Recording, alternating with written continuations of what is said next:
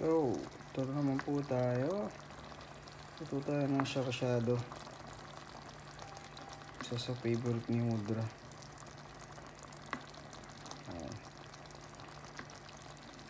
Lang natin mabuo yung eklog.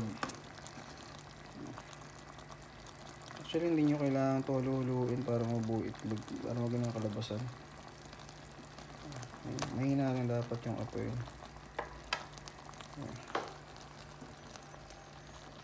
Ok.